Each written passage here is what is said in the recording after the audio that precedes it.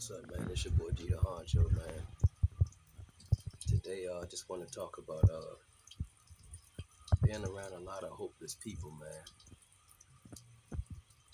Uh, during this time in my life, as y'all see that I'm locked up, it's a lot of hopeless and wicked, evil individuals, man, on a daily basis that I have to deal with.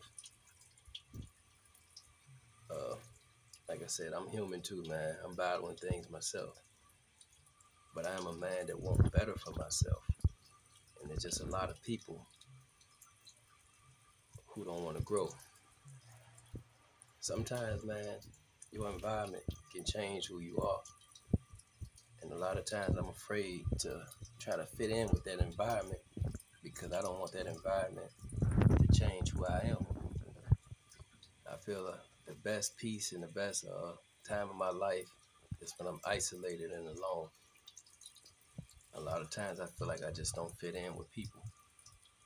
You know, I'm more so trying to stabilize my mental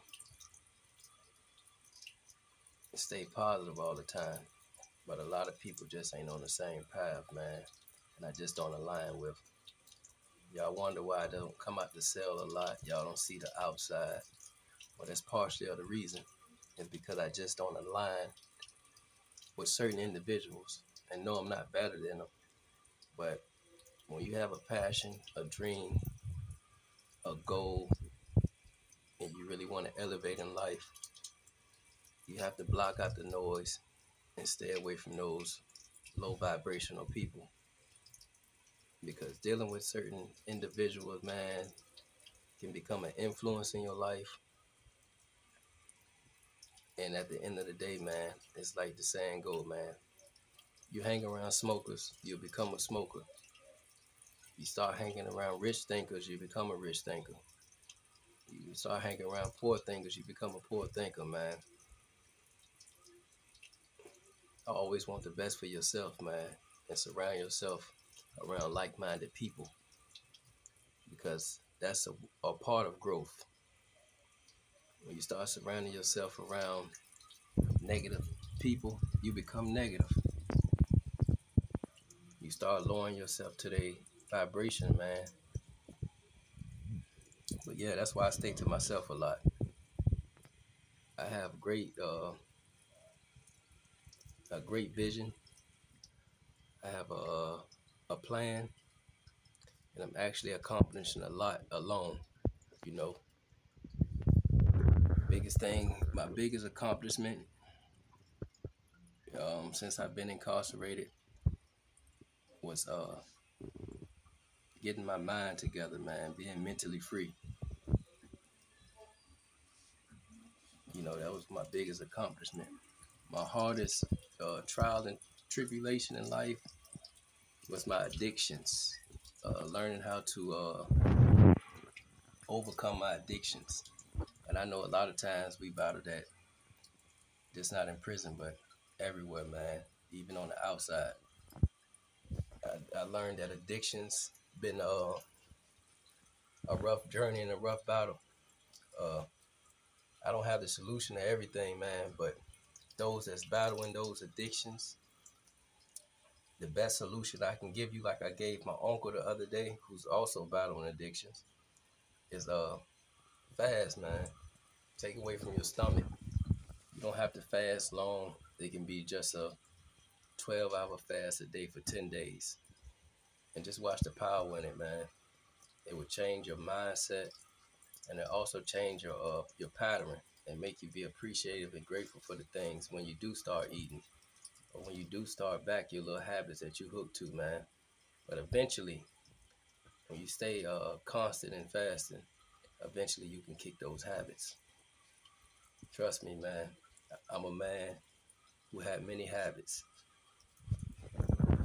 I used to do a lot of things, man, but uh, I guess that taste going out my mouth, man, and I'm better. I'm still battling little things, but it's nothing that I can't handle or get straight, man. Cause like I say, man, no one's perfect. We all go through things. But man, sometimes, man, we have to reevaluate our lives, reevaluate the people in our lives because those people can become your downfall, man, when you start picking up their ways. Influence is a big part, a big thing in our society. Our children picking up, uh, shaking their behinds and listening to this nonsense music and start, uh, what you call it, chasing identity, trying to figure out who they are, not knowing who they are because they want to be like this person they look up to, these idols. And for all those that's making music, man, like I say, man, if you're making a living off it, man, I salute you. But this this me now, I don't agree with a lot of things. You know, we have a youth and we want the youth to be better thinkers than we are. We want the youth to do great.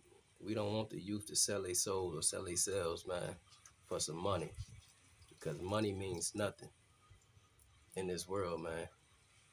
Loving yourself means more than money. Understanding who you are means more than money. Teaching your kids principles, morals, traditions, or whatever you stand for, man, means more than money. Not shaking your behind, not saying, not getting high, not competing with one another because it's not about that. It's about growing and building, man. Helping each other, lifting one and each other up, man, in times of needs or whenever, man. But uh, like I say, man, I'm just a man in the cell, man, just expressing his thoughts.